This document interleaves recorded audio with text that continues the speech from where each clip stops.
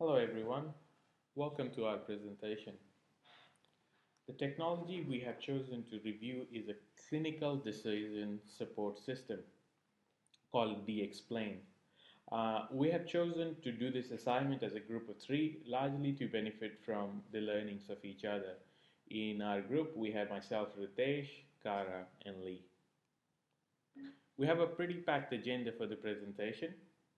Uh, we'll start by explaining what is a clinical decision support system. Then we'll introduce DXplain. Uh, we'll also give you a little bit history about uh, how DXplain came into being and where it is now. Then we'll get into how it works. Uh, we'll even do a little demo for you. Actually, DXplain has a demo available on their website. Uh, what we'll do is do a little bit of a walkthrough uh, for you. After that, we'll talk a little bit about the limitations of DXplain, uh, do comparisons uh, of DXplains with other CDSs that are out there, talk uh, talk about uh, evaluation and see what we want in the future. Uh, let's get started. So, what is CDSS? Basically, at a high level, it is a an application that analyzes data to help healthcare providers make clinical decisions. It is adapted from decision support systems that are commonly used to support business management and have been around for a while. There are mainly two types of CDSS. Uh, one is where system uses knowledge base and applies rules to arrive at a decision.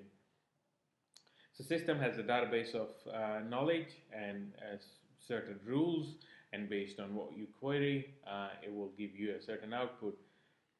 Uh, an example is DXplain itself, whereas the other, you have to rely on the machine itself to learn and analyze data. For example, systems that use artificial intelligence. As we said, one such uh, CDSs which use knowledge base Uh, and rules is CDSS. The current CDS's knowledge base includes over 2,400 diseases and over 5,000 clinical findings. DXplain can act both as an electronic textbook and as a medical reference system as well. As an electronic medical textbook, you can find descriptions of over 2,400 different diseases, and as a medical reference system, DXplain can provide you with up to 10 references for each of the diseases that it contains. Let's talk a little bit about the history of DXplain. It was developed at a lab of computer science at Massachusetts General Hospital.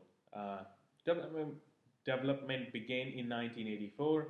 The first version with information of on approximately 500 diseases was released in 1986.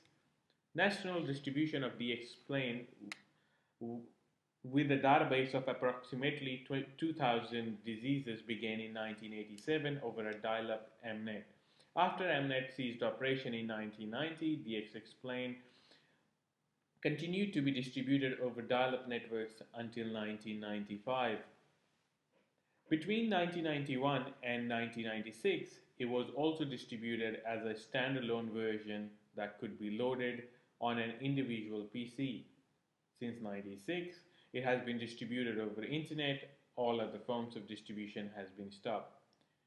Now all you need is internet connection and an institutional license for MGH to be able to access the explain. The way it works is it collects clinical information and makes use of Bayesian logic to derive clinical interpretation. As promised, I'll do a little bit of walkthrough for you to get a feel of how it works.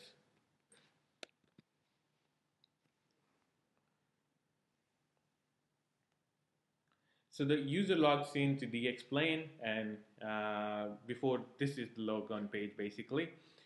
Uh, email address is used only as a unique identifier for logging in uh, and uh, it's never shared with anyone else. MGH uh, complies with, with security policies or at least they claim they do. After you accept the terms and conditions, uh, you get into to this screen where you have to at least enter three fields. One is the age, uh, your gender, and the symptoms that you have been experiencing, time that you have been experiencing symptoms for. Once you've entered that, you can start doing a lookup. In this instance, the symptom has been weight. Uh, we start with weight and then we'll, it will start giving you prompts. For example, weight loss, uh, weight gain, uh, low weight, and, and so on and so forth. Now, to indicate that a finding is absent rather than present, you can click No up here uh, before selecting the finding from the match list and it will accordingly show up lookup section. Now, as the findings are selected, they appear in the case finding window. So for example, weight loss could, could relate to, to following case findings. And as a result, it will display you a set of common diseases and rare diseases that these symptoms could relate to. In this instance, could be um, malaria uh, as a rare and diabetes as a common disease. Yeah. Once we have finalized the case findings, DXplain prompts you uh, prompts uh, you for clinical findings that may help distinguish between possible diagnosis. Uh, the user can choose to indicate that one of the suggested clinical manifestation is present uh, by selecting Y or N or unknown. Uh, if uh, the staff wants to know what, what, these symptoms mean, they can click on the question mark and it will display uh, a little bit of explanation. The current finding list is too long, in this instance, is too long to fit on this screen and you have a little scroll down to scroll through. Uh, after additional clinical findings have been entered, a reviewed list is shown with uh, several diagnostic are now uh, supported. Uh, when the user clicks on, on the disease, uh, explain will bring up the evidence and bit more uh, information about that particular disease. And then you can move on to the next screen. Uh, user can choose to um, look at the disease description, uh, also look at findings that supported bring up this disease and evidence of the disease. How is this disease different? Mm, uh, this disease feature displays a differential diagnosis for selected disease. And so on. You get a gist of how, how it basically works. You could also do a search for, for the diseases that mm, mm Google search for, for diseases, it supports that, and so on and so forth. Now I'll pass on to my friend Lee, who will talk us through a bit about some of the desired features that she'd like DXplain to have. Thank you, Ritesh, for the demonstration. For the next three slides, I will talk about features, limitations of DXplain, and also a comparison among similar, similar products. Besides features like user-friendly interface, easy to access, and a well-justified rank result list. DXplain developers have added many new features that we found useful and exciting. The findings present function is the most widely used feature, which allows the user enters only one or two non-demographic terms directly and then select dozens from the finding present list. In general, around 42% of users are using this function. In the focus feature, DXplain will present only those diseases in which those focus cru crucial findings are known to occur in those case finding scenarios. And disease compare allows the users to select two or more diseases and see associated findings compared in a graphic table in order to allow the user to easily review similarities and differences among them. There are also some limitations in using DXplain. It doesn't allow the entry of many of the unstructured data, and the result can be inconsistent among different users. DXplain can only be used as an adjunct and information base and a well-specified medical knowledge resource. However, it can never be treated as a replacement for the clinician's knowledge and experience. In order to explore more details about DXplain, we also evaluated two similar CDSS products in market. They are Diagnosis Pro and Isabel. For the building philosophy, DXplain and DiaPro are expert systems that aim to solve clinical problems with a complex network of clinical findings and disease names and disease names within their database. While Isabel simply aims to remind clinicians of key diagnostic possibilities.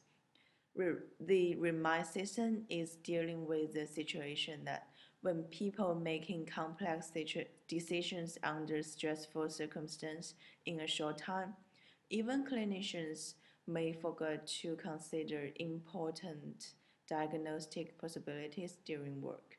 That's what Isabel is working on. And we can see that among those three, DXplain has been put into use for the longest time, which we can see how robust the system is but it is only for institution use, and that might be the reason why there is no mobile access for it. Next, DXplain allows very limited input of demographic information, only age, gender, and estimate duration of the disease, while DiaPro doesn't allow that at all, and Isabel is the most flexible one among the three.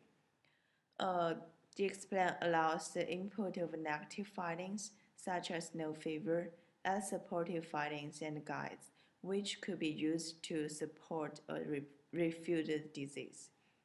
Uh, all of those three systems allow information populated from EHR, though DXplain has very limited access.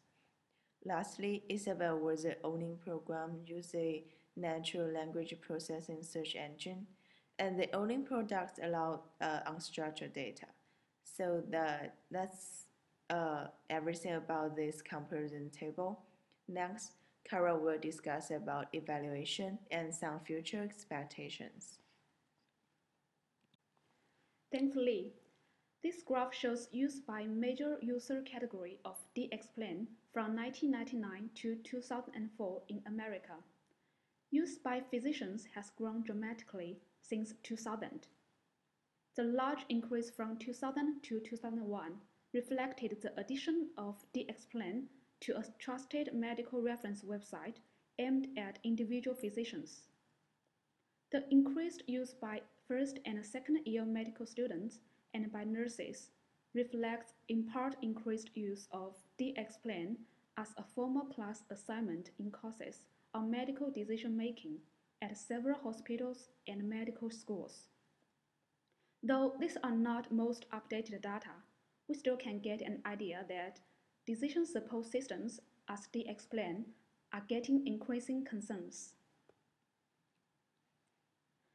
Specifically, there are two studies positive conclusions about DXplain I want to show you. And the first study aims to determine whether internal medicine residents would find the use of an expert system to be a satisfactory experience. All residents were encouraged to access DXplain. Connected survey data reflect a significant level of satisfaction with the system. They said DXplain frequently led them to consider novel diagnosis, as it had a positive educational impact. And the second study is um, for inpatients who have short stay, residents may overlook symptoms which cannot be easily noticed. And this one is about whether DXplain can speed their diagnosis generations process and gives more accurate results, which leads to a shorter, more effective, and less costly hospital stay. And the finding is that using DXplain might save over $2 million a year and also improve diagnosis quality. So here we just mentioned a little bit about evaluation and more details will be discussed in the report. And in the future, as medical knowledge is continually expanding, an expert system must expand and evolve. So it is possible that DXplain will have continued and growing use in the future. Users at all levels of medical and nursing training and practice can benefit from use of expert system like DXplain, though patterns of use vary.